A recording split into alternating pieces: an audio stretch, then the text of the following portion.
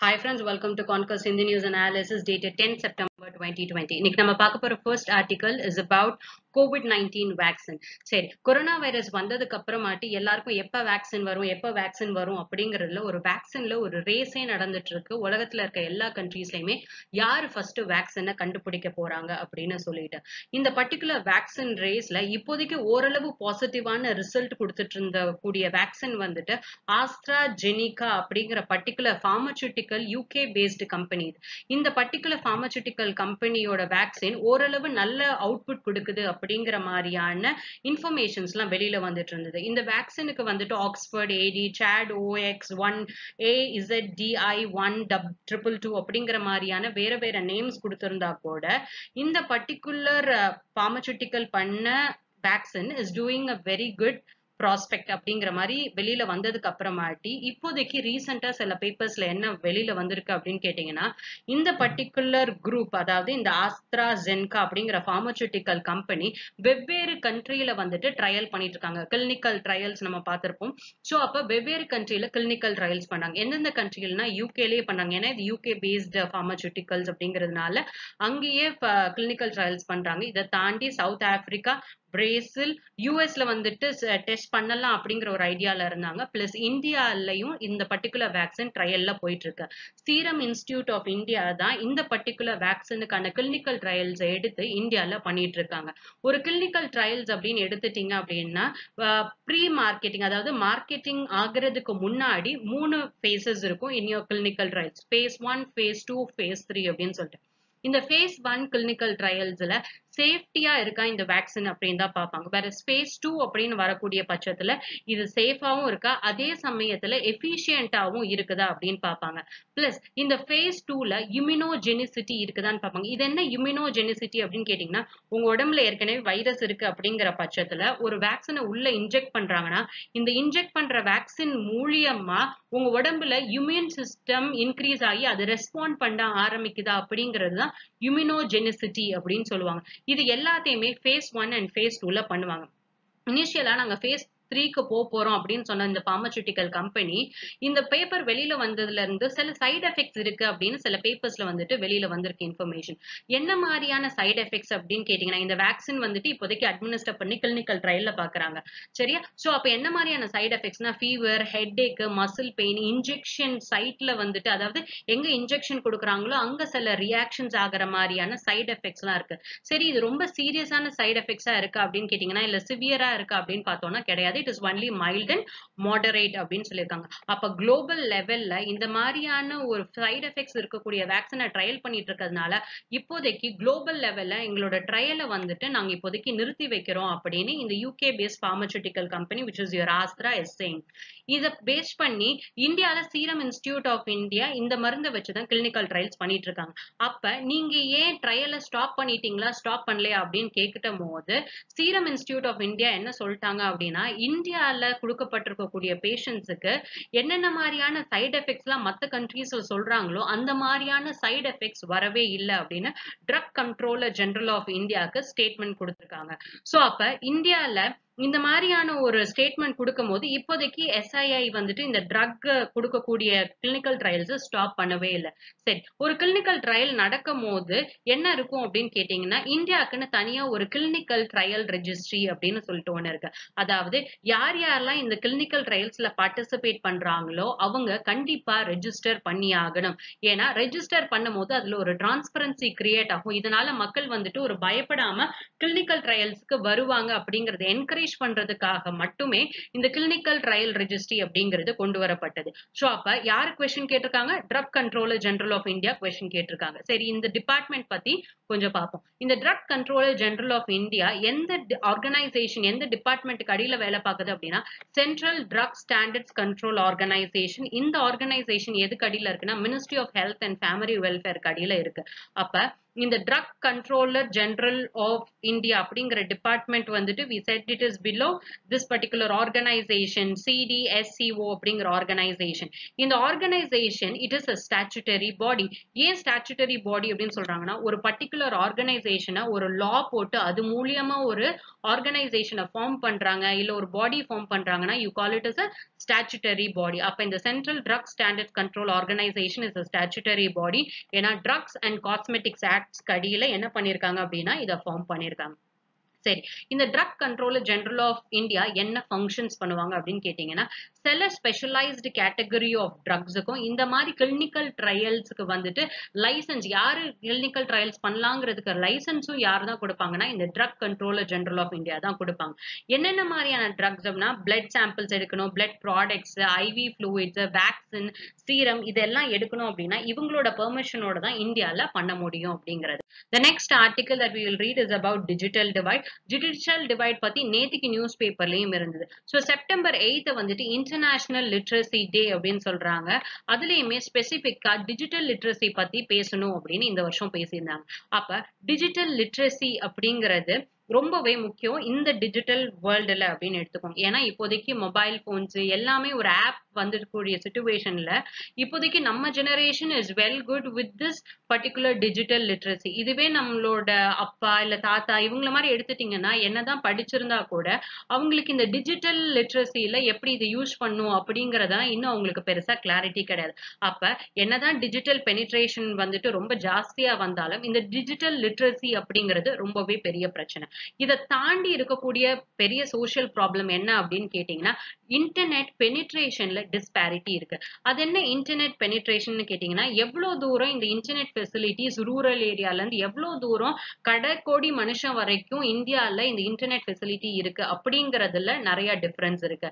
Next எத்தனை பேர் கிட்ட இந்த டெஸ்க்டாப் லேப்டாப்ஸ் மொபைல் போன்ஸ் இருக்கு அப்படிங்கறதுலயுமே டிஸ்பேரிட்டி இருக்கு. அப்ப இன்டர்நெட் வச்சிருக்கவங்க இன்டர்நெட் இல்லாதவங்க கேஜெட்ஸ் வச்சிருக்கவங்க கேஜெட்ஸ் இல்லாதவங்க அப்படிங்கிற மாதிரியான டிஸ்பேரிட்டி இந்தியால ஜாஸ்தியா இருக்கு. ஏற்கனவே இந்தியால நிறைய சோசியல் அண்ட் எக்கனாமிக்கல் இன்இக்வாலிட்டிஸ் இருக்கக்கூடிய சுச்சுவேஷன்ல கொரோனா வைரஸ்க்கு அப்புறமாட்டி இந்த டிஜிட்டல் லிட்ரஸியா இருக்கட்டும் இல்ல இந்த டிஜிட்டல் நீட் அப்படிங்கிறது ரொம்பவே ஜாஸ்தி ஆயிடுச்சு. So there is an aggravated need அப்ப இந்த போஸ்ட் கோவிட் சுச்சுவேஷன்ல முக்காவாசியான எஜுகேஷன் ஆன்லைன் மூலியமா வர ஆரம்பிச்சிருச்சு. அப்ப இந்த டிஸ்பேரிட்டி அப்படிங்கிறது ரொம்பவே ஜாஸ்தியா இருக்கு அப்படிங்கறத NSO national statistical ஆர்கனைசேஷனோட survey seventy fifth round survey வந்துட்டு நடத்தியிருக்காங்க. இந்த சர்வேல வந்துட்டு July twenty seventeen and June twenty eighteen இந்த பர்டிகுலர் டைம் ஸ்கேல்ல எவ்வளோத்துக்கு இந்தியால இந்த டிஜிட்டல் பெனிட்ரேஷன் இருக்கு? எவ்வளவுக்கு இந்தியால இந்த டிஜிட்டல் டிவைட் இருக்கு?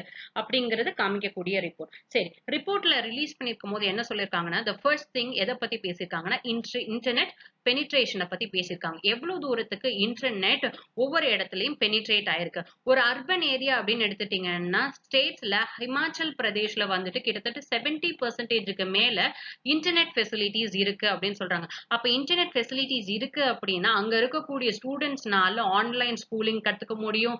ஜூம் கிளாஸஸ் அட்டன் பண்ணுவாங்க. டிஜிட்டல் மூலியமா உங்களுக்கு டெக்ஸ்ட் புக் கிடைக்கும்.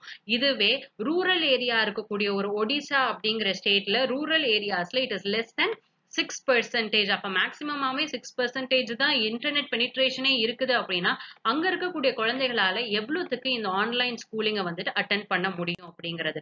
த நெக்ஸ்ட் திங் எத்தனை பேர்கிட்ட கேஜெட்ஸ் இருக்கு அப்படின்னு பேசியிருக்காங்க. இந்தியால பத்து வீடை எண்ணீங்கன்னா அது ஒரு வீட்டுல மட்டும்தான் என்ன இருக்கு அப்படின்னா இந்த கம்ப்யூட்டர் ஃபெசிலிட்டிஸ் இருக்கு அப்படின்னு சொல்றாங்க. Rather it be computer facility இந்த சென்ஸ் அது டெஸ்க்டாப்பாவும் இருக்கலாம் லேப்டாப்பாவும் இருக்கலாம் டேப்லெட்டா இருக்கலாம் அப்படிங்கிறது. ஸோ அப்போ விச் விச் சேஸ் தட் இதுலயுமே என்ன இருக்கு? எல்லாருக்கும் வந்துட்டு இந்த டிஜிட்டல் கேஜெட்ஸ் வந்துட்டு அவைலபிளா இருக்க மாட்டேங்குது அப்படிங்கிறது தெரியுது. The third one internet facilities எத்தனை பேர் கிட்ட வந்துட்டு ஃபோர் ஜி நெட் கனெக்டிவிட்டி இருக்கு? எத்தனை பேர் வீட்டுல ப்ராட்பேண்ட் கனெக்ஷன்ஸ் இருக்கு அப்படின்னு கேட்டீங்கன்னா இருக்கக்கூடிய இந்தியால இருக்கக்கூடிய எல்லா வீட்டையும் எடுத்துட்டா கூட குவார்ட்டர் ஆஃப் தி ஹோம்ஸ்க்கு மட்டும்தான் இந்த மாதிரியான இன்டர்நெட் ஃபெசிலிட்டிஸ் இருக்கு. இந்த இன்டர்நெட் ஃபெசிலிட்டிஸ் பிக்ஸ்டு நெட்ஒர்க்காகவும் இருக்கலாம் மொபைல் நெட்ஒர்க்காகவும் இருக்கலாம். அப்ப மோஸ்டா இன்டர்நெட் எனேபிள்டு ஹோம்ஸ் அப்படிங்கிறது எங்க தான் இருக்கு அப்படின்னு கேட்டீங்கன்னா சிட்டிஸ்ல மட்டும்தான் ஃபார்ட்டி டூ பர்சன்டேஜ் இருக்கு. இதுவே ரூரல் ஏரியால நிறைய பேருக்கு இன்டர்நெட் இருக்கு அப்படின்னு கேட்டீங்கன்னா இட் இஸ் வெரி லெஸ் பதினஞ்சு பர்சன்டேஜ் தான் இன்டர்நெட் கனெக்டிவிட்டியே இருக்கு. அப்ப house hold in in with internet access India முழுசும் அப்படின்னு பாத்தீங்கன்னா இருக்கிறது இருக்கிறதுலே டெல்லியில மட்டும்தான் ஒரு வீட்டுல நெட்வொர்க் கனெக்டிவிட்டி அப்படிங்கிறது fifty five percentage of the house ஹோல்ட்ஸ்ல இருக்கு. இதை தாண்டி வேற யாரு நிறைய பெர்சன்டேஜ் வச்சிருக்காங்கன்னு கேட்டீங்கன்னா கேரளா அண்ட் ஹிமாச்சல் பிரதேஷ்ல இன்டர்நெட் கனெக்டிவிட்டி ஹவுஸ் ஹோல்ட்ஸ்ல பார்க்கும்போது it is greater than fifty percentage அப்படிங்கிற மாதிரி. வேற இன்ட ஒடிசால வந்துட்டு பத்து வீடு எடுத்துட்டீங்கன்னா ஒருத்தர் வீட்ல தான் இன்டர்நெட் கனெக்டிவிட்டியே இருக்கு அப்படின்னு சொல்றாங்க. இதுலயுமே பத்து ஸ்டேட்ஸ் கிட்ட internet connectivity less than twenty percentage பத்து ஸ்டேட்ஸ்ல வந்துட்டு இருபது பெர்சன்டேஜுக்கும் கீழே தான் இந்த இன்டர்நெட் பெனிட்ரேஷனே இருக்கு. கர்நாடகா தமிழ்நாடு இந்த மாதிரியான ஸ்டேட்ல அப்ப இந்த இடத்துல என்ன பிரச்சனை அப்படின்னு கேட்டீங்கன்னா இன்இக்குவாலிட்டி அப்படிங்கிறது ரொம்பவே ஜாஸ்தியா இருக்கு. ஒரு அர்பன் ஏரியா அப்படின்னு எடுத்துட்டீங்கன்னா அறுபத்தேழு பெர்சன்டேஜ் வந்துட்டு இன்டர்நெட் கனெக்டிவிட்டி இருக்கு. இதுவே ஒரு ரூரல் ஏரியா அப்படின்னு எடுத்துட்டீங்கன்னா தேர்ட்டி நைன் பர்சன்டேஜ் மட்டும்தான் இன்டர்நெட் கனெக்டிவிட்டி இருக்குது அப்படிங்க அப்ப ஒரு ரூரல் ஏரியாக்கும் அர்பன் ஏரியாவுக்கும் எவ்வளவு பெரிய டிவைட் இருக்கு. அப்ப ரூரல் ஏரியால ஒரு குழந்தை படிக்குது அப்படின்னா அர்பன் ஏரியால அதே படிப்பு வேணும்னு சொல்லிட்டு ரைட் டு எஜுகேஷன் ஆக்ட் மூலியமா உள்ள வந்த குழந்தைக்கு படிப்பு அடிப்படுதா because of lack of internet facility அதே மாதிரி ஒரு ஸ்டேட் ஒவ்வொரு ஸ்டேட்டுக்கும் இடையில டிஸ்பேரிட்டி இருக்கு அப்படிங்கும் போது அப்ப ஸ்டேட்ஸ் என்ன மாதிரி பாலிசி கொண்டு வரணும் அப்படிங்கிற கொஸ்டின் நமக்கு என்ன ஆக ஆரம்பிக்கும்? ரைஸ் ஆக ஆரம்பிக்கும். சரி இந்த டிஜிட்டல் டிவைடர் நம்ம என்னங்க பண்ணலாம்? Because this is a very big problem ஏன்னா எல்லாருமே ஆன்லைனுக்கு போயிட்டு இருக்கக்கூடிய ஒரு சுச்சுவேஷன்ல இன்டர்நெட் அப்படிங்கிறது ஒரு basic thing like your house food shelter அப்படிங்கிற மாதிரி இது மாதிரி ஒரு பேசிக் திங்காவே ஆயிடுச்சு. அப்போ வாட் குட் பி டன் அப்படிங்கிறதுக்காக தான் இன்னைக்கு எடிட்டோரியல் பேஜ்ல வந்துட்டு என்ன சொல்லியிருக்காங்கன்னா இந்த டிஜிட்டல் டிவைட் இந்தியால இருக்கு அப்படிங்கறத நாங்க கவர்மெண்டே அக்செப்ட் பண்ணிக்கிறோம் அப்படின்னு prime minister Narendra Modi independence day ஸ்பீச்ல சொல்லியிருப்பாரு. இதுக்காக தான் ஸ்பீச்ல சொல்லும் போது என்ன சொல்லியிருப்பாருன்னா ஆயிரம் நாளுக்குள்ள ஆப்டிக்கல் ஃபைபர் கனெக்டிவிட்டி எல்லா வில்லேஜஸ்லயும் கொடுக்கப்படும். ஆல் வில்லேஜஸ் சரியா? எல்லா வில்லேஜஸ்லயும் கொடுக்கப்படும் அப்படின்னு சொல்லியிருந்தாரு.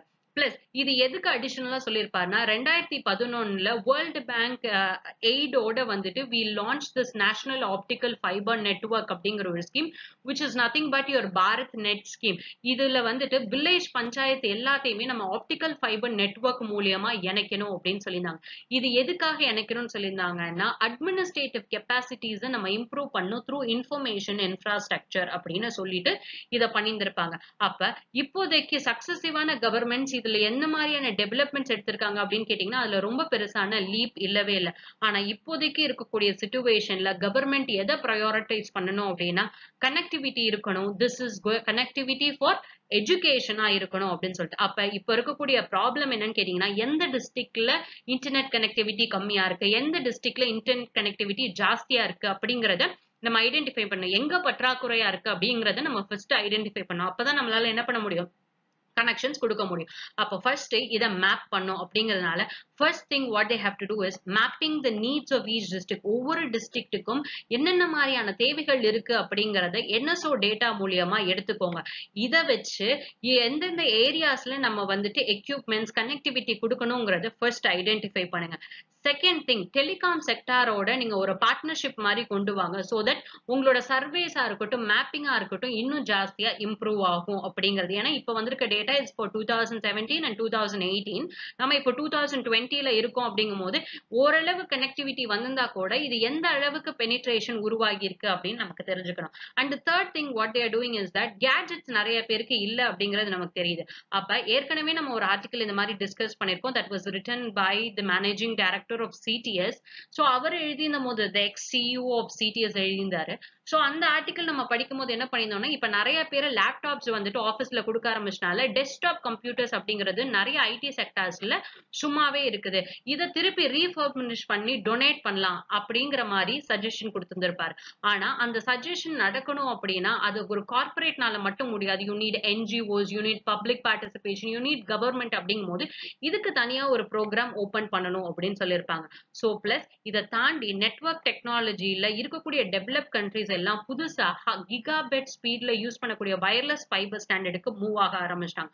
ஸோ ஏன் இந்தியா அதை ட்ரை பண்ணக்கூடாது? That will have high capacity spectrum use பண்ணும் இஎன் வி பேண்ட்ஸ்ல அப்ப கவர்மெண்ட் என்னென்ன மாதிரியான பாசிபிலிட்டிஸ்லாம் இருக்கு அப்படிங்கிறத பார்த்து இந்த டிஜிட்டல் டிவைட ஓரளவு என்ன பண்ணிடணும்? கம்மி பண்ணிடணும் அப்படின்னு இந்த ஆர்டிக்கல் எழுதி the next article is about employment provident fund scheme பத்தி ஒரு ஆர்டிக்கல் வந்திருந்தது.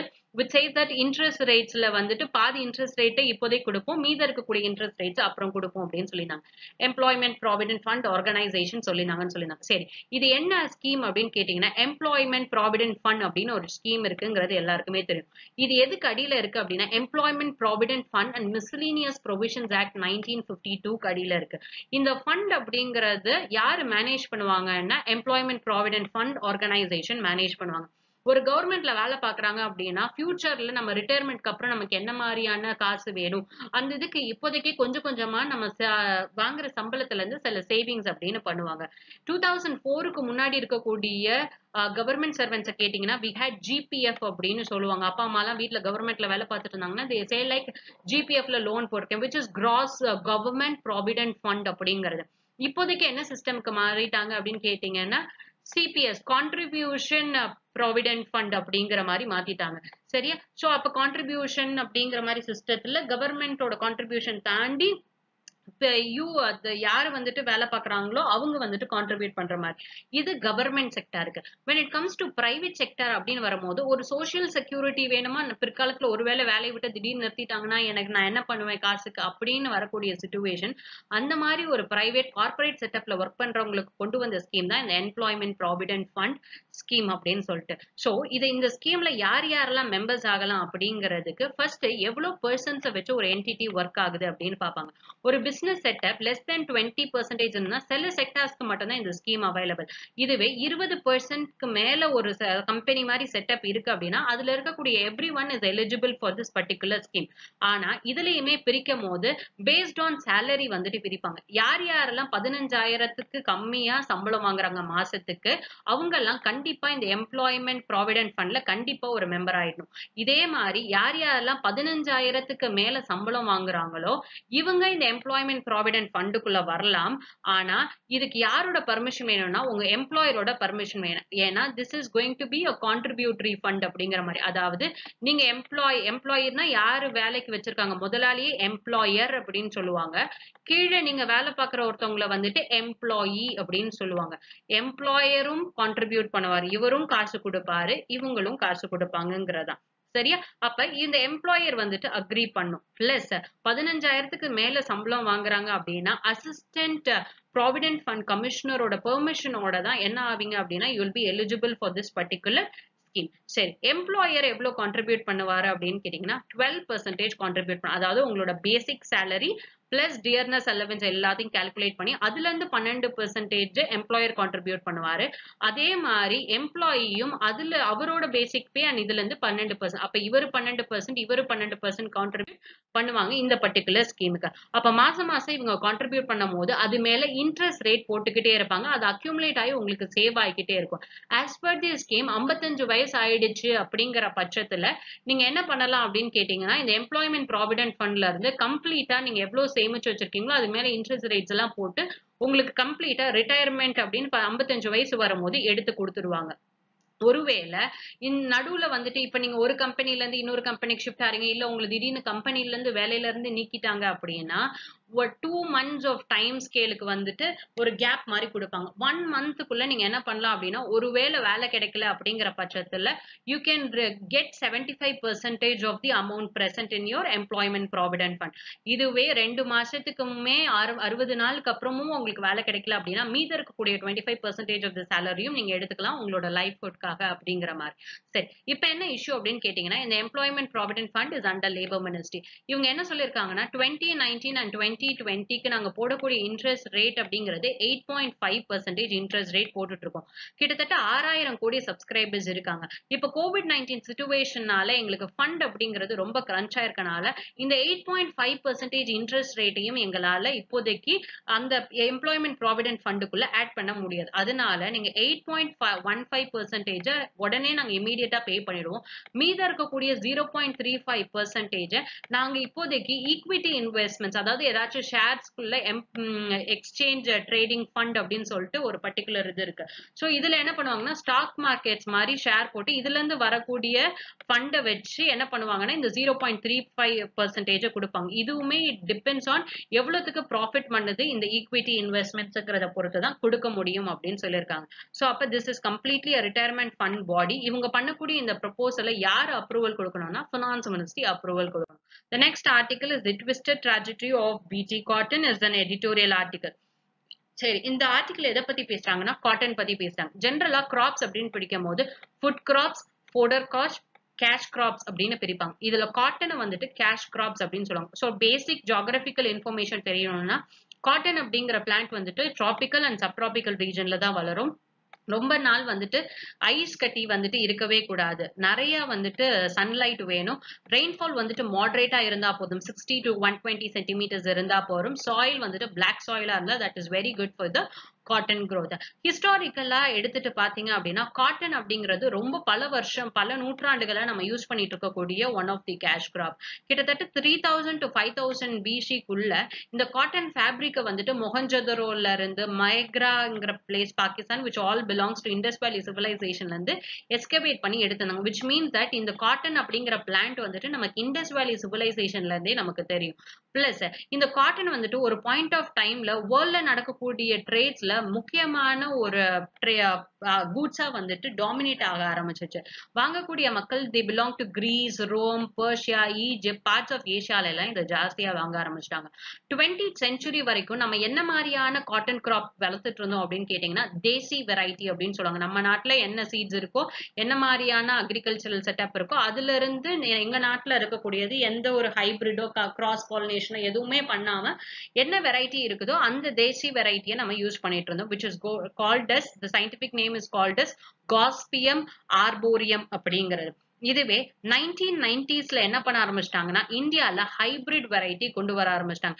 ஜென்ரலா இந்த கேபே கேபேஜ்ல colourful violet colour cabbage cucumber வந்துட்டு நம்ம நாட்டு வெள்ளரிக்காம இருக்காது. Different kind of cucumber which is very large பார்த்தோன்னா அட்ராக்ட் பண்ற மாதிரி இருக்கக்கூடிய ஸோ ஹைபிரிட் அப்படின்னு பண்றது கிராஸ் பாலினேஷன் மாதிரி பண்ணுவாங்க in hybrid variety so hybrid variety of your cotton is called is gossypium ஹிஸ்டம் அப்படிங்கறத வந்துட்டு கவர்மெண்ட் ப்ரமோட் பண்ண ஆரம்பிச்சிட்டாங்க. கமர்ஷியல் பர்பசஸ்க்காக நெக்ஸ்ட் என்ன ஆயிடுச்சு அப்படின்னு கேட்டீங்கன்னா இந்த ஹைபிரிட் எப்ப யூஸ் பண்ண ஆரம்பிச்சாங்களோ மக்கள் கிட்ட ஒரு ப்ரெஷரைசேஷன் ஏன்னா எதை பார்த்தோன்னா ரொம்ப அட்ராக்டிவா இருக்கும். நம்ம அதை தானே போய் எடுப்போம். கேப்சிகம் வந்துட்டு கிரீன் கலர்ல இருந்தா நமக்கு பிடிக்காது. அது வந்துட்டு ரெட் கலர்ல எல்லோ கலர்ல இந்த மாதிரி டிஃப்ரெண்ட் கலர்ஸ்ல இருக்கும்போது all these are hybrid things so நமக்கு எது ரொம்ப அழகா இருக்கோ அதுதான் நம்ம என்ன பண்ண ஆரம்பிப்போம்? வாங்க ஆரம்பிப்போம். அப்ப ஃபார்மர்ஸ் என்ன பண்ண ஆரம்பிச்சிட்டாங்கன்னா இந்த மாதிரி ப்ரெஷர் கிரியேட் ஆக ஆரம்பிச்சதுக்கு அப்புறமாட்டி நிறைய பேர் இந்த ஹைபிரிட் சீட்ஸை வாங்கி காட்டன் பிளான்டேஷன் பண்ண ஆரம்பிச்சிட்டாங்க. இந்த காட்டன் பிளான்டேஷன் ஹைபிரிட் வெரைட்டியில பண்ணும்போது என்ன பிரச்சனை வந்துருச்சு அப்படின்னு கேட்டீங்கன்னா பிளென்டி ஆஃப் இன்ஃபெக்ஷன்ஸ் வந்துட்டு கிரியேட் ஆக ஆரம்பிச்சு. ஏன்னா எக்கச்சக்கமான பெஸ்டிசைட்ஸ் மாத் பெஸ்ட் லெபிடோ ட்ரென் அப்படின்னு சொல்லுவாங்க. Pink bollworm American bollworm sap sucking அப்படிங்கிற மாதிரியான பெஸ்ட் எல்லாம் இந்த காட்டனை ஜாஸ்தியா வந்துட்டு என்ன பண்ண ஆரம்பிச்சிருச்சுன்னா அஃபெக்ட் பண்ண ஆரம்பிச்சிருச்சு. கொஞ்ச நாளத்துல வந்துட்டு என்ன ஆயிடுச்சு அப்படின்னா இந்த லோக்கல் பெஸ்ட்டுக்கு வந்துட்டு ரெசிஸ்ட் பண்ண முடியாம போயிடுச்சு. இவங்க வந்துட்டு என்ன பண்ண ஆரம்பிச்சிட்டாங்கன்னா பெஸ்ட் நிறைய வருது பூச்சி நிறைய வருது. அப்ப பூச்சியை கொல்லணும்னு சொல்லிட்டு பூச்சிக்கொல்லி மருந்தெல்லாம் நிறைய அடிக்க ஆரம்பிச்சிட்டாங்க. ஸோ அப்ப இதுக்கு வந்துட்டு நிறைய ஃபெர்டிலைசர்ஸும் தேவை பெஸ்டிசைட்ஸும் தேவை அப்படிங்கிற மாதிரி ஆக ஆரம்பிச்சிருச்சு. அப்ப இது இந்த மாதிரி அடிக்கடி அடிச்சுட்டே இருக்கு அடிச்சுட்டே இருக்க. என்ன ஆயிடுச்சுன்னா அந்த பெஸ்ட்டுக்கு வந்துட்டு ரெசிஸ்டன்ஸ் வந்துருச்சு. இந்த மருந்து தானே நம்ம பாத்துக்கலாம் அப்படிங்கறதுல இன்னும் இந்த பெஸ்டோட தொல்லை ஜாஸ்தியாக ஜாஸ்தியாக கெமிக்கல்ஸ் அண்ட் ஃபெர்டிலைசர் ப்ரைசஸ் ரொம்பவே இதுல ஜாஸ்தியாக ஆரம்பிச்சிருச்சு. விச் மீன்ஸ் தட் ஃபார்மர்ஸ் வந்துட்டு என்ன பண்ண ஆரம்பிச்சிட்டாங்கன்னா நிறைய வந்துட்டு காசு செலவழிக்க ஆரம்பிச்சிட்டாங்க. ஏன்னா சீடு வாங்கணும் நிலத்தை வந்துட்டு பராமரிக்கணும் அதுக்கு தண்ணி விடணும் ஃபெர்டிலைசர்ஸ் போடணும் பெஸ்டிசைட்ஸ் போடணும் கலர் இருந்ததுன்னா எடுக்கணும் அப்படிங்கும் போது ஃபார்மர்ஸுக்கு வரக்கூடிய இன்புட் காஸ்ட் அப்படிங்கிறது என்னவாயிடும்? ரைஸ் ஆக ஆரம்பிச்சிடும். அப்ப என்ன பண்ணுவாங்க? வெளியில போய் கடன் தான் வாங்க. அதனால கடன் தொல்லை ஜாஸ்தியாக ஆரம்பிச்சிருச்சு. பிளஸ் இன்செக்ட்ஸும் வந்துட்டு என்னதான் இவங்க போட்டுட்டே இருந்தாலும் அது ரெசிஸ்ட் ஆகி ரெசிஸ்டா என்ன பண்ணிட்டே இருக்கு அப்படின்னு கேட்டீங்கன்னா அது சாகாம போய்கிட்டே இருந்தது. இதனால ஈல்டும் என்ன ஆக ஆரம்பிச்சிருச்சுன்னா ரெடியூஸ் ஆக ஆரம்பிச்சிருச்சு. ஸோ அப்ப காட்டன் ஃபார்மர்ஸ்க்கு இந்த hybrid variety of cotton seeds வந்தோடனே இதுவே ரொம்ப பெரிய பிரச்சனையாயிடுச்சு. இது இதனால ஃபார்மர்ஸ்க்கு வந்துட்டு ரொம்ப பெரிய லாஸ் ஆகுது. நிறைய ஃபார்மர் சூசைட்ஸ் நடக்குது அப்படின்னு சொல்லிட்டு டூ தௌசண்ட் அண்ட் டூல பிடி காட்டன் அப்படின்னு சொல்லிட்டு ஒன்னு லான்ச் பண்ணிப்பாங்க இது என்ன பிடி காட்டன் அப்படின்னு கேட்டீங்கன்னா ஜெனட்டிக்கலி மாடிஃபைட் காட்டன் இது என்ன ஜெனட்டிக்கலி மாடிஃபைட் காட்டன் அப்படின்னா காட்டனுக்குன்னு சொல்லிட்டு ஒரு ஜீன் ஸ்ட்ரக்சர் இருக்கும். இந்த ஜீன் ஸ்ட்ரக்சருக்குள்ள இந்த பெஸ்ட் வந்துட்டு இந்த காட்டனை தாக்கக்கூடாது. இந்த பூச்சி வந்துட்டு இந்த காட்டனை வந்துட்டு தாக்கக்கூடாது அப்படிங்கிற கூடிய பட்சத்துல எந்த மாதிரியான ஜீனை தூக்கி வச்சா இந்த பிளான் இந்த காட்டன் கிராப்பை இந்த பெஸ்டிசைட் தாக்காம இருக்கும் அப்படிங்கிறதுக்காக பாக்டீரியால இருந்து ஒரு பர்டிகுலர் ஜீனை எடுத்து காட்டனோட ஜீனுக்குள்ள இன்சர்ட் பண்றாங்க. வளரும் போதே அது எப்படிதான் வளரும்? பெஸ்ட் வந்துட்டு ரெசிஸ்ட் பண்ற மாதிரி தான் வளரும். அந்த மாதிரி பண்ணக்கூடிய சிஸ்டம் தான் genetically modified organisms genetically modified plants அப்படின்னு சொல்லுவாங்க. We call that is BT cotton சரியா? சோ அப்போ ஒரு பாக்டீரியால இருந்து ஒரு ஜீனை எடுத்து வைக்கிறாங்க. என்ன பாக்டீரியா அப்படின்னா பெசிலஸ் துரிஞ்சினியஸ் அப்படிங்கிற பாக்டீரியால இருந்து எடுத்து வைக்கிறாங்க. இதுல இருந்து பிளான்ட் ப்ரொடியூஸ் பண்றாங்க. கிட்டத்தட்ட அப்ராக்சிமேட்டா வந்துட்டு இருபது வருஷம் இதை யூஸ் பண்ணிட்டாங்க. இந்த particular BT cotton it is it has protected the plant from bollworm இந்த பெஸ்ட்ல இருந்து என்ன பண்ணிடுச்சு அப்படின்னு கேட்டீங்கன்னா ப்ரொடெக்ட் பண்ணிடுச்சு. பிளஸ் அப்ப பெஸ்ட் நிறைய வர வரல அப்படின்னா நம்ம அதுக்கு மேல பூச்சிக்கொல்லி மருந்தெல்லாம் நிறைய அடிக்க மாட்டோம். அது டிக்ரீஸ் ஆக ஆரம்பிச்சிருச்சு.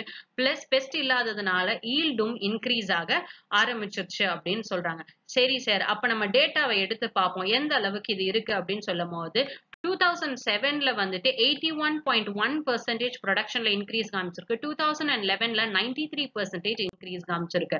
சரி இந்த மாதிரியான இன்க்ரீஸ் காமிச்சிருக்குன்னு சொல்றீங்க. சரி இருபது வருஷம் கிட்டத்தட்ட இருபது வருஷம் ஆக போது இந்த ஜெனட்டிக்கலி மாடிஃபைடு பிடி காட்டனை உள்ள கொண்டு வந்து சரி நம்ம இதை கொஞ்சம் ரிவ்யூ பண்ணி பார்ப்போம் சார். இதுக்கு மேல இந்தியாவுக்கு பிடி காட்டன் வேணுமா? ஏன்னா நம்ம பிடி பிரிஞ்சால் பத்தி எல்லாம் பேசிட்டு இருக்கோம். எந்த அளவுக்கு இது சாத்தியமாகும் அப்படிங்கறத இந்த ஆர்டிக்கல் எழுதியிருக்காங்க. என்னதான் வந்துட்டு அவுட்புட் இஸ் குட் அப்படின்னு சொன்னா கூட ஒரு scientific journal which is called as nature plants அப்படிங்கிற சயின்டிபிக் ஜேர்னல் எப்படி இந்த பிடி காட்டனோட யூஸ் வந்துட்டு இந்தியாவில் இருக்கு அப்படிங்கிறத பத்தி ஒரு ஜேர்னல்ல ஒரு ரிவ்யூ மாதிரி பண்ணியிருப்பாங்க இந்த ரிவ்யூல வந்துட்டு என்ன பண்றாங்க அப்படின்னு சொன்னீங்கன்னா ஏர்லியர் ஸ்டடிஸ் அதாவது டூ தௌசண்ட் டூல இருந்து டூ தௌசண்ட் ஃபோர்டீன் வரைக்கும் காட்டனோட ஈல்டு வந்துட்டு ரொம்பவே மும்மடங்கு ஆயிருக்கு அப்படின்னு சொல்றாங்க. ஆனா இதுல சில டிஸ்கிரிமினேஷன்ஸ் இருக்கு அப்படின்னு சொல்றாங்க. ஏன்னா பிடி காட்டனுக்கு மாறினதுக்கு அப்புறம் எல்லாருமே நிஜமா பிடி காட்டன் யூஸ் பண்றாங்களா அப்படிங்கிறது நமக்கு தெரியணும்ல. அதனால இந்த சர்வே படி என்ன டிவைட் பண்றாங்கன்னா எவ்வளோ போகம் வந்திருக்கு. ஈல்டு எவ்வளோ வந்திருக்கு? எவ்வளோ இடத்த பிடி காட்டன்னால அவங்க விதைச்சிருக்காங்க அப்படின்னு சொல்லிட்டு. டூ தௌசண்ட் த்ரீ எடுத்து பார்க்கும் போது எவ்வளோ காட்டன் ஏரியா பிடி காட்டன் போட்டிருக்காங்கன்னா த்ரீ பாயிண்ட் ஃபோர் பர்சன்ட் எவ்வளோ இடத்துல காட்டன் போடுவாங்களோ அதுல மூணு புள்ளி நாலு சதவீதத்துல மட்டும்தான் இந்த பிடி காட்டனே போட்டிருக்காங்க. ஆனா வீல்டு அந்த வருஷம் எவ்வளவு வந்திருக்குன்னா கிட்டத்தட்ட சிக்ஸ்டி ஒன் பெர்சன்டேஜ் வந்துட்டு ஜாஸ்தியா வந்திருக்கு. எங்க போட்டிருக்க இடமே த்ரீ பாயிண்ட் ஃபோர் பர்சன்டேஜ் தான். காட்டனோட டோட்டல் ஈல்டு சிக்ஸ்டி ஒன் பெர்சன்டேஜ்னா எவ்வளவு பெரிய டிராஸ்டிக் இதுவே டூ தௌசண்ட் அண்ட் ஃபைவ்ல வந்துட்டு பிடி காட்டனோட ஏரியா வந்துட்டு இன்க்ரீஸ் ஆயிருக்கு பிப்டீன் பாயிண்ட் செவன் பர்சன்டேஜ் ஆனா வந்திருக்கக்கூடிய மொத்த காட்டனோட ஈல்டு வந்துட்டு ninety percentage two thousand and two லெவலை விட ஜாஸ்தியா இருந்திருக்கு. இதுவே டூ தௌசண்ட் அண்ட் செவன்ல பிடி காட்டனோட ஏரியா வந்துட்டு இன்னும் ஜாஸ்தியாக ஆரம்பிச்சிருச்சு. ஆனா வரக்கூடிய ஈல்டு அப்படிங்கிறது என்ன ஆக ஆரம்பிச்சிருச்சு அப்படின்னு கேட்டீங்கன்னா கம்மியாக ஆரம்பிச்சிருச்சு ஸ்டாக்னண்டா ஆக ஆரம்பிச்சிருச்சு. அப்ப இந்த இந்த டூ தௌசண்ட் அண்ட் எயிட்ல என்ன கேட்டீங்க அப்படின்னா இந்த பிடி காட்டன் டூ தௌசண்ட் டூல அடாப்ட் பண்ணிருப்பாங்க இதை விட லோவரான ஈல்டு வந்துட்டு ரெண்டாயிரத்தி எட்டுல காமிக்க ஆரம்பிச்சிருச்சு வித் ரெஸ்பெக்ட் டு காட்டன் அப்ப ஒவ்வொரு இண்டிவிஜுவல் ஸ்டேட் டேட்டா எடுத்து பார்த்தோம் அப்படின்னு கேட்டீங்கன்னா டூ தௌசண்ட் த்ரீல மட்டும் அதாவது கரெக்டா பிடி காட்டன் கொண்டு வந்து அடுத்த வருஷமே நம்ம ஓவராலா இந்தியால எவ்வளவுதான் பார்த்திருந்தோம்? த்ரீ பாயிண்ட் ஃபோர் பர்சன்டேஜ் மட்டும்தான் பிடி காட்டனே கல்டிவேட் பண்ணிருக்கக்கூடிய ஏரியாவே ஆனா குஜராத்ல மட்டும் ஒன் தேர்ட்டி எயிட் பெர்சன்டேஜ் வந்துட்டு இன்க்ரீஸ் இன் ஈல்டு ஆனா five percentage of the land மட்டும் தான் பிடி காட்டன்ல இது பண்ணிருக்காங்க. விச் மீன்ஸ் அதர் ஹைபிரிட் காட்டன்ஸும் இருந்திருக்கு தேசி காட்டன்ஸும் இருக்கும் டோட்டல் காட்டன்ல அப்ப இதே மாதிரியான ஃபைண்டிங் தான் பஞ்சாப் ஹரியானா ராஜஸ்தான் இது எல்லாத்துலயும் வந்திருக்கு. அப்ப இதுல இருந்து என்ன சொல்றாங்க அப்படின்னா பிடி காட்டன் விளைய வைக்கக்கூடிய நிலங்கிறது ரொம்ப கம்மியா இருக்கு. ஆனா ஈல்டுங்கிறது ரொம்ப ஜாஸ்தியா வந்திருக்கு. அப்ப பிடி காட்டனுக்கும் வந்த போகத்துக்கும் எந்த ஒரு காரலேஷனும் கிடையாது. எந்த ஒரு சம்பந்தமும் கிடையாது அப்படின்னு ஃபைனலைஸ் பண்ணிடுறாங்க.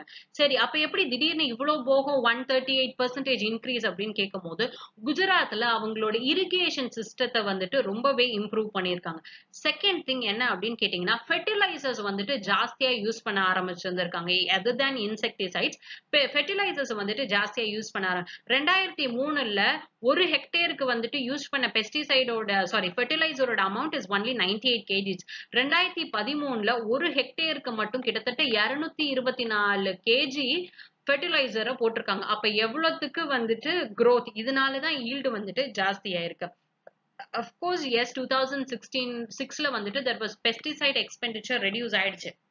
ஆனால் டூ தௌசண்ட் அண்ட் லெவன்லையுமே பெஸ்டிசைட் எக்ஸ்பெண்டிச்சர் வந்துட்டு ஃபால் ஆகவே ஆகிட்டு இருந்தது. ஆனா ஒரு பாயிண்ட் ஆஃப் டைம்ல இந்த அமெரிக்கன் பால்வம் ஏன்னா ரெண்டு பால்வம் பார்த்துருப்போம். ஒன்று அமெரிக்கன் பால்வம் இன்னொன்று பிங்க் பால்வம் இந்த அமெரிக்கன் பால்வம் வந்துட்டு காட்டன்ல மட்டும் வந்துட்டு ஃபீட் பண்ணாது. இருக்கக்கூடிய மத்த பிளான்ஸ்லயும் ஃபீட் ஆகும். அதனால பிடி காட்டனுக்கு வந்துட்டு எந்த ஒரு ரெசிஸ்டன்ஸும் காமிக்கவே இல்லை. இந்த பூச்சி வந்துட்டு பிடி காட்டனை வந்துட்டு எந்த விதத்திலையும் அஃபெக்ட் பண்ணவே இல்லை. ஆனா இந்த பில்க் வால்வம் அப்படிங்கிறது ரெண்டாயிரத்தி ஒன்பதுக்கு அப்புறமாட்டி even for BT cotton resistance காமிக்க ஆரம்பிச்சு விச் மீன்ஸ் அதையும் அஃபெக்ட் பண்ண ஆரம்பிச்சு. இந்த மாதிரி ரெண்டாயிரத்தி ஒன்பதுல ஆரம்பிச்சதுக்கு அப்புறமாட்டி திருப்பி வழக்கம் போல என்ன பண்ணிட ஆரம்பிச்சிட்டாங்க? நிறைய இன்செக்டிசைட்ஸ் ஸ்ப்ரே பண்ண ஆரம்பிச்சிட்டாங்க. பிளஸ் ஹைபிரிட் காட்டனும் போகவே இல்லையா மார்க்கெட்ல இருந்து? ஹைபிரிட் காட்டன்ல சாப் சக்கிங் இன்செக்ட்ஸ் எல்லாமே ஹைபிரிட் காட்டன் மேல ரொம்ப ஜாஸ்தியா அதோட ஸ்ப்ரெட்டிங் இன்க்ரீஸ் ஆக ஆரம்பிச்சிருச்சு. அப்ப இந்த மாதிரி இன்செக்டிசைட்ஸுக்கு ஒரு ஃபார்மர் செலவு பண்ணக்கூடியது ஒரு ஹெக்டேருக்கு வந்துட்டு கிட்டத்தட்ட twenty three point five eight dollars வந்துட்டு இன்க்ரீஸ் ஆயிருக்கு விச் இஸ் அதாவது நம்ம பிடி காட்டன் கொண்டு வர்றதுக்கு முன்னாடி இன்செக்டிசைட்ஸ் வச்சிட்டு இருந்தாங்க அப்படின்னு பார்த்தோம். அதை காட்டிலும் கிட்டத்தட்ட முப்பத்தி ஏழு பெர்சன்டேஜ் வந்துட்டு பிரைஸ் ரைஸ் வந்துட்டு இன்க்ரீஸ் ஆயிடுச்சு இந்த இன்செக்ட்ஸை கொல்லணும் அப்படிங்கிறதுக்காக. ஸோ அப்ப இப்போதைக்கு பிரச்சனை என்ன அப்படின்னு கேட்டீங்கன்னா ரியல் வேர்ல்ட்ல நிறைய சேலஞ்சஸ் இருக்கு அப்படின்னு சொல்றாங்க. ஸோ அப்ப பிடி காட்டன்னால வெல்லாம வரல அப்படிங்கிறது நமக்கு நல்லாவே தெரிஞ்சிச்சு. ஸோ அப்ப ரியல் வேர்ல்டு சேலஞ்சஸ்ல சி நீங்க BT cotton is a technology it's scientific technology நீங்க அதை ஒரு லேபுக்குள்ள வச்சு டெஸ்ட் பண்றீங்க. அதுக்குன்னு சில கண்டிஷன் சாயில் மாய்ச்சர் எல்லாமே நீங்க ஒரு மாதிரி கண்டிஷன்ல வச்சு பண்றீங்க. ஆனா ஃபீல்டு அப்படின்னு வரும்போது அங்க நிறைய ஃபேக்டர்ஸ் இருக்கு. என்ன மாதிரியான பெஸ்ட் இருக்கும்னு தெரியாது நமக்கு. லோக்கல் சாயில் எந்த அளவுக்கு ஃபெர்டிலிட்டியோட இருக்கும் இல்ல அதுல என்ன காம்பனன்ஸ் இருக்குங்கிற கிளாரிட்டி இல்ல. இரிகேஷன் கண்டிஷன்ஸ் ஒவ்வொரு இடத்துக்கும் டிஃபர் ஆகும். அப்ப இப்படி இருக்கக்கூடிய சுச்சுவேஷன்ல நீங்க என்னதான் ஜெனட்டிக்கலி மாடிஃபைட் கிராப்ஸ் அப்படின்னு கொண்டு வந்தீங்கன்னா கூட இதோட வெள்ளாம மைட் பி நல்லா இருந்திருக்கலாம் பட் ஆனா வந்திருக்கக்கூடிய ஷார்ட் ஈல்டு அப்படிங்கிறது ஷார்ட் லிவ்டாவே போயிடுச்சு. கொஞ்ச நாள்லயே மறைஞ்சு போயிடுச்சு. அப்ப அக்ரிகல்ச்சுரல் வந்துட்டு சேஞ்ச் ஆயிட்டு இருந்தது ஒரு பாசிட்டிவான ஈல்ட்ஸுக்கு ஆனா ஒரு கண்ட்ரி வைஸ் ஈல்டு அப்படின்னு கேட்டீங்கன்னா இந்தியால இம்ப்ரூவ் ஆகல அப்படின்னு சொல்றாங்க. ஒவ்வொரு வருஷமும் காட்டன் ப்ரொடக்ஷன் அப்படிங்கிறதுக்கு ரேங்கிங் போடுவாங்க. இந்தியாவோட காட்டன் ப்ரொடக்ஷன் வந்துட்டு கிட்டத்தட்ட எந்தனாவது ரேங்க்ல India production wise cotton produce பண்றதுல இந்தியா எத்தனாவது ரேங்க்ல இருக்காங்கன்னா தேர்ட்டி சிக்ஸ் ரேங்க்ல இருக்காங்க. இது எந்தெந்த கண்ட்ரீஸ்லாம் பிடி காட்டன் யூஸ் பண்ணலையோ அந்த கண்ட்ரீஸை காட்டிலும் கம்மி. பிளஸ் இருக்கக்கூடிய ஆவரேஜா இருக்கக்கூடிய புவர் ஆப்பிரிக்கன் கண்ட்ரீஸை காட்டிலும் கம்மியா இருக்கு. இந்த ஆப்பிரிக்கன் கண்ட்ரீஸ்ல பிடி காட்டனும் யூஸ் பண்றது இல்ல ஹைபிரிட் காட்டனும் யூஸ் பண்றது இல்ல பிளஸ் நம்ம போடக்கூடிய இவ்வளோ good access of inputs fertilisers irrigation facilities இந்த மாதிரி எதுவுமே ப்ராப்பரா இல்லாத கண்ட்ரீஸ் கூட இந்தியாவை காட்டிலும் காட்டன் ப்ரொடக்ஷன்ல ரொம்ப ஜாஸ்தியா இருக்காங்க. அப்ப இந்தியா பண்ண மிகப்பெரிய தப்பு என்ன அப்படின்னு கேட்டீங்கன்னா நீங்க உங்களோட தேசி வெரைட்டிஸை வந்துட்டு இக்னோர் பண்ணதுதான் மிகப்பெரிய தப்பு அப்படின்னு சொல்லியிருக்காங்க அப்ப த வே ஃபார்வர்ட்ல என்ன சொல்லியிருக்காங்க அப்படின்னா இந்த தேசி வெரைட்டிஸ் வந்துட்டு it has resisted pest pest வந்துட்டு வராம வந்துட்டு இந்த தேசி வெரைட்டிஸ் ப்ரொடெக்ட் பண்ணியிருக்கு.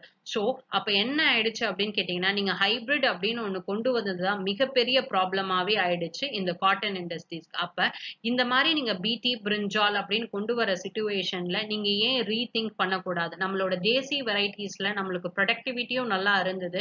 பிளஸ் இவ்வளோத்துக்கு இன்வெஸ்ட்மெண்ட்டும் பண்ணவே இல்லை நம்ம. ஆனா ஒரு பிடி காட்டன் ஒன்று கொண்டு வந்து இது வந்துட்டு நிஜமாலே பெனிஃபிட்டா இருந்தது அப்படின்னு கேட்டீங்கன்னா இட் இஸ் நாட் தி பர்ஃபெக்டான பெனிஃபிட் ஒரு சஸ்டைனபிள் பெனிஃபிட் இல்லவே இல்லை. So better stop all this genetically modified crops அப்படின்னு சொல்லி இந்த ஆர்டிக்கல்ல எழுதியிருக்கு.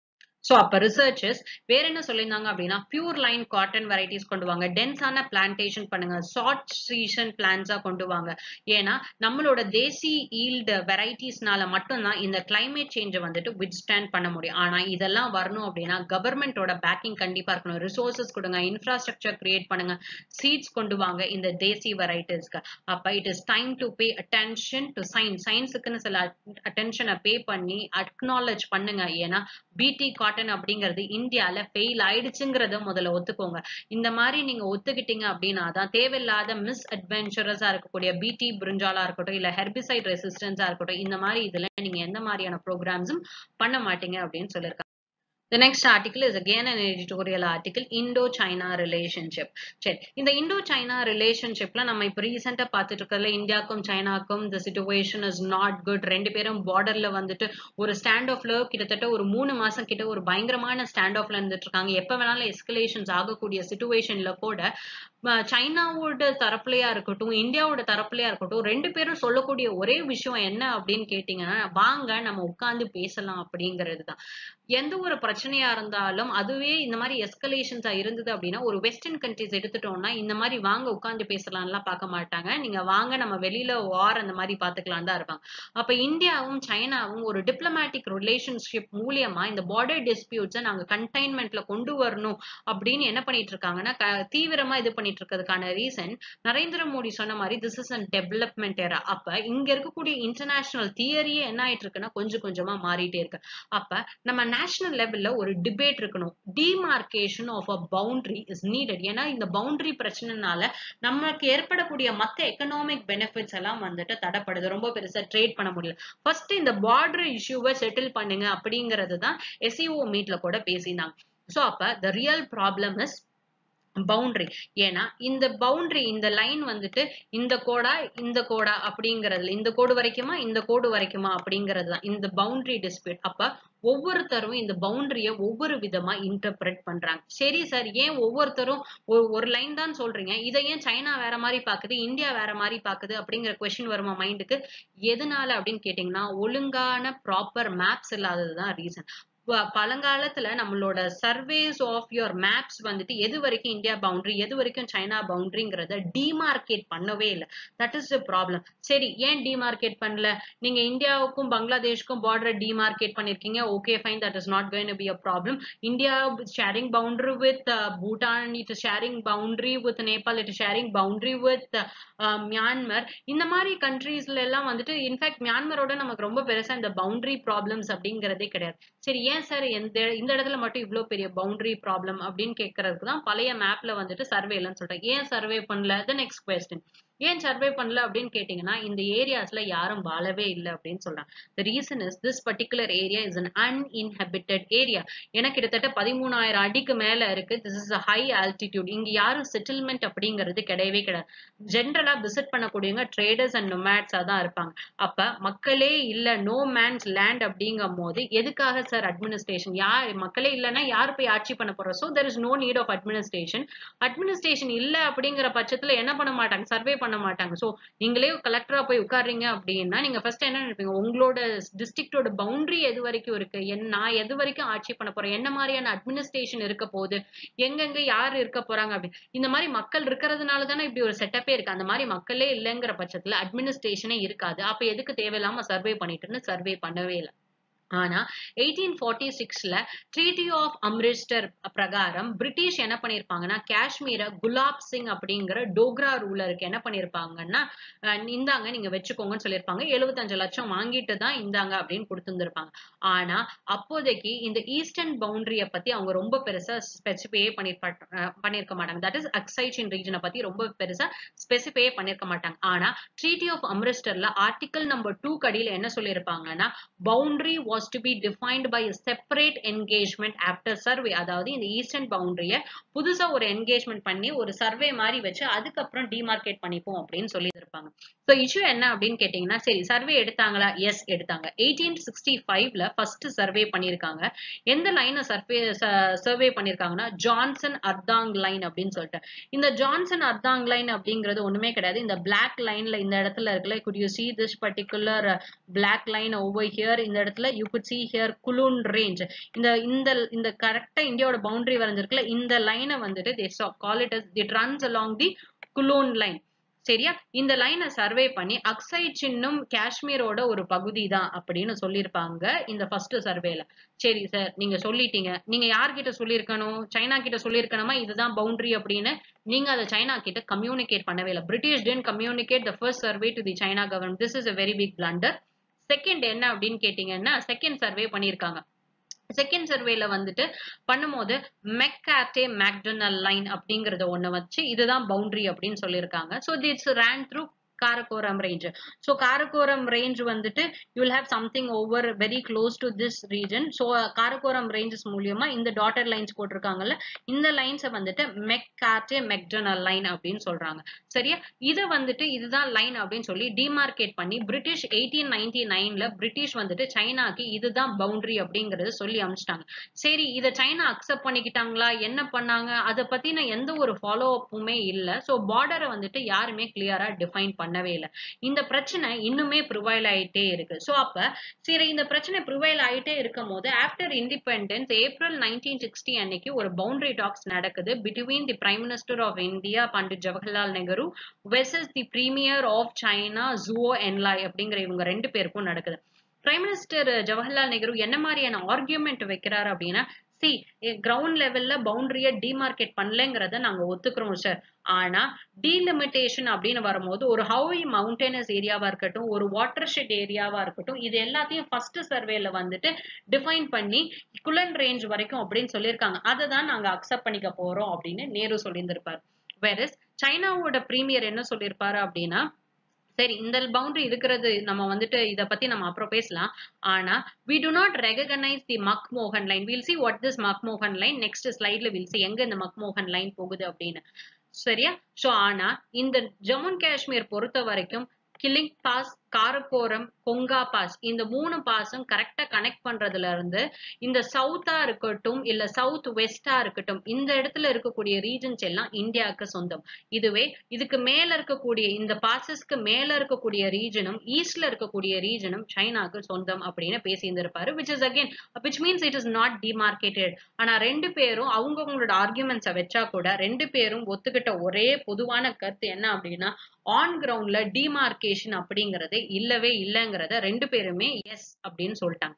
சோ அப்ப இதுதான் காரக்கோரம் ரேஞ்சு இந்த காரக்கோரம் ரேஞ்ச ஒட்டி தான் you have this McMahon line so you could see this sorry not McMahon line Macdonald and Macartney line வந்துட்டு உங்களால பார்க்க முடியுது இல்ல? And you could see here Karakoram pass சரியா? And you could see here Kongka pass அப்படின்னு சொல்லிட்டு. So அப்ப என்ன சொல்றாங்கன்னா இந்த லைன் வரைக்கும் அப்படின்னு யார் சொல்றாரு? China is claiming right you could see this orange line இந்த லைன் வரைக்கும் அவங்க என்ன சொல்றாங்க? இதுதான் வந்துட்டு செகண்ட் சர்வேல சொன்ன லைனு ஆனா சைனா என்ன சொல்றாங்க அப்படின்னா இந்த காரக்கோரம் பாஸ்ல இருந்து இந்த கொங்கா கொங்கா பாஸ் இந்த பாஸ் வரைக்கும் இருக்கக்கூடிய இது எல்லாத்தையும் நீங்க கரெக்டா கனெக்ட் பண்றீங்க வித் கில்கில் பாஸ் அப்படின்னு கனெக்ட் பண்றீங்க அப்படின்னா இது வரைக்கும் இருக்கக்கூடிய டெரிட்டரி எங்களோட டெரிட்டரி இதுக்கு மேல இருக்கக்கூடிய வெஸ்ட் சைட்ல இருக்கக்கூடிய சாரி எஸ் த வெஸ்ட் சைட்ல இருக்கக்கூடிய டெரிட்டரி அண்ட் சதர்ன் சைட்ல இருக்கக்கூடிய territory it belongs to India அப்படின்னு சொல்றாங்க.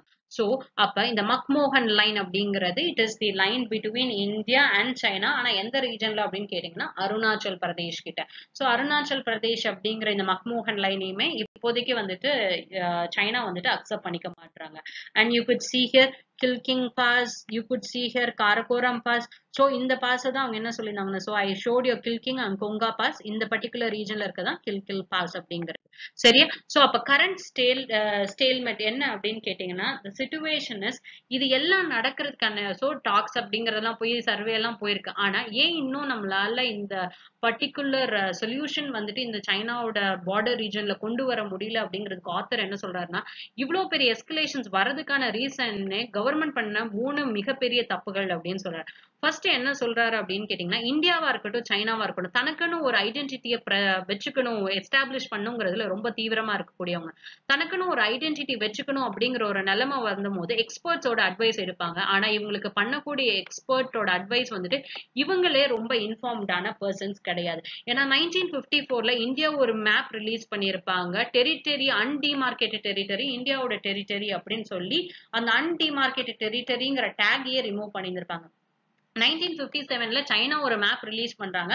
அக்சைச்சின் ரீஜனையும் அவங்களோட ரீஜன் அப்படின்னு சொல்லி இன்க்ளூட் பண்ணி. அப்ப இதுல என்ன பிரச்சனைன்னு கேட்டீங்கன்னா சர்வே தாங்க பிரச்சனை. ஏன்ஷியன்டா நமக்கு ரொம்ப பெருசா டிமார்கேஷன் கிடையாது. அப்ப மேப்ல நடக்கக்கூடிய சில தவறுகள் கார்டோகிராப் கார்டோகிராபிக் ஆம்பிகுவிட்டி அப்படின்னு சொல்லுவாங்க. இந்த கார்டோகிராபிக் ஆம்பிகுவிட்டில ஒருத்தர் மேப் வேற மாதிரி காமிக்குது இன்னொருத்தர் மேப் வேற மாதிரி காமிக்குது. இதனால நடக்கக்கூடிய கிளாஷஸ்னால தான் அக்ரஷன்ஸ் அப்படிங்கிறது ஒண்ணு கிரியேட் ஆகுது. த செகண்ட் திங் என்ன அப்படின்னு கேட்டீங்கன்னா இந்த மாதிரி ஒரு டாக்ஸ் நடக்கக்கூடிய இடத்துல நம்ம வந்துட்டு சைனாக்கும் சாரி பாகிஸ்தானுக்கும் இந்தியாவுக்கும் பிரச்சனை வந்தது அப்படின்னா பாகிஸ்தான் வந்துட்டு நமக்கு எதிராக இது பண்றாங்க அப்படிங்கிற மாதிரியான நிறைய ஸ்டேட்மெண்ட்ஸ் மீடியால வரும்போது ரியல் ரியாலிட்டியா இந்தியாவில் இருக்கக்கூடிய அன்எம்ப்ளாய்மெண்ட் பத்தி யாரும் பேசுறது கிடையாது இன்ஃபிளேஷன் பத்தி பேசுறது கிடையாது. அப்போ பொலிட்டிக்கலா என்ன பண்ணணும்னு நினைக்கிறாங்கன்னா ஏதோ ஒரு விஷயத்தை டைவெர்ட் பண்றதுக்கு. ஏன்னா கொரோனா வைரஸ் இந்த சுச்சுவேஷன்ல தான் இந்த ஸ்டாண்ட் ஆஃப் அப்படிங்கும் போது கொரோனாவை எப்படி கண்டெயின் பண்றீங்க? எத்தனை பேருக்கு வேலை வாய்ப்பு இருக்கு? எவ்வளவு பேர் மைக்ரன்ஸ் வந்துட்டு அஃபெக்ட் ஆயிருக்காங்க? அவங்களுக்கு நீங்க என்ன பண்றீங்க? அதை ரொம்ப பெருசா காமிக்காம ஸ்டாண்ட் ஆஃப் ஸ்டாண்ட் ஆஃப் அப்படின்னு மட்டுமே நீங்க காமிச்சிட்டு இருக்கக்கூடிய சுச்சுவேஷன்ல இதுல ரொம்ப பெரிய ஒரு பொலிட்டிக்கல் பிளேயே நடந்துட்டு இருக்கு அப்படின்னு ஆர்த்தர் சொல்றாரு. அப்ப நீங்க ஒரு டிப்ளமேட்டிக் ப்ராசஸ்க்குன்னு நீங்க கொண்டு போற இடத்துல இது உங்களோட பொலிட்டிக்கல் நான் பதவிக்கு வந்தேன்னா இந்தியாவுக்கும் சைனாக்கும் இருக்கக்கூடிய பவ பகையை வந்துட்டு நான் தீர்த்துருவேன் இந்தியாவுக்கும் பாகிஸ்தானுக்கும் இருக்கக்கூடிய ப்ராப்ளம்ஸ் ரிசால்வ் பண்ண இதெல்லாம் ஒரு political stand people vote for this சரியா? சோ அப்ப ரிலையன்ஸ் ஆன் எக்ஸ்பர்ட் திருப்பி வந்துட்டு இந்த டிப்ளமேட்டிக் ப்ராசஸ்க்கும் நீங்க திருப்பி அந்த எக்ஸ்பர்ட்ஸை தான் இது பண்றீங்க. ஆனா சி ஒரு எக்ஸ்பர்ட்டும் எக்ஸ்பர்ட்டும் உட்காந்து பேசுறதுனால ஒன்றும் ஆக போறது கிடையாது. Government has to come and political நேச்சர்ல நீங்க செட்டில்மெண்ட் கொண்டு வரணும். அந்த எசென்ஷியல் எலிமெண்டே வந்துட்டு இப்போதைக்கு மிஸ் ஆகிட்டு இருக்கு. தேர்ட் திங் நைன்டீன் தேர்ட்டி த்ரீல இருந்து ஓகே ஃபைன் நாங்க வந்துட்டு ஒரு மியூச்சுவல் அண்ட் மீனிங்ஃபுல்லான என்கேஜ்மெண்ட்டுக்கு வர போறோம். அப்படின்னு சொல்லி ஸ்பெஷல் ரெப்ரசன்டேட்டிவ்ஸா வந்துட்டு அப்பாயிண்ட் பண்ணீங்க. ஆனா இந்த பார்டர் மேனேஜ்மெண்ட்ல அதுக்கப்புறமாட்டி நீங்க எந்த பெருசா ஸ்டெப்பும் எடுக்கவே இல்லை. இன்னமும் நாங்க மியூச்சுவல் அண்ட் மீனிங்ஃபுல்லா ஒரு ஸ்பீஸான இடத்துல வைப்போம் அப்படின்னு சொன்னதுக்கு அப்புறமும் கூட நீங்க ஏன் இன்னும் மிலிட்டரிய பிளேஸ் பண்ணி இவ்வளோத்துக்கு உங்களோட பார்டர்ஸை டிஃபெண்ட் பண்றீங்க? இதனாலதான் தேவையில்லாத ஃபேஸ் டு ஃபேஸ் கான்டாக்ட்ஸ் வருது தேவையில்லாத ஸ்கிமிஷஸ் வருது இதனாலதான் இவ்வளவு பெரிய அக்ரவேஷன் வந்திருக்கு.